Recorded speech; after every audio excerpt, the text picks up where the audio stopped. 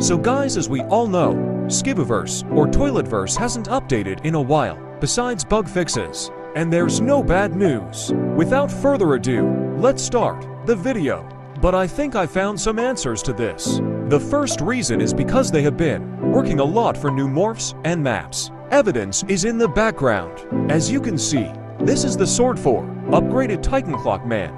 This looks crazy good for a Roblox morph. The next reason could have two reasons. One, the owner is having problems with the game that he can't handle or two, he is having trouble with Earl problems, evidence in the background. But they did update right there shown here. But it's only bug fixes. The last reasons are here. They are continuously updating the game but people don't notice because in certain people's eyes, new stuff in the game means an update. And since they are still working on 2.0, they can't update the game too much since 2.0 is still being worked on and they want everything to be perfect. Well, that's about all.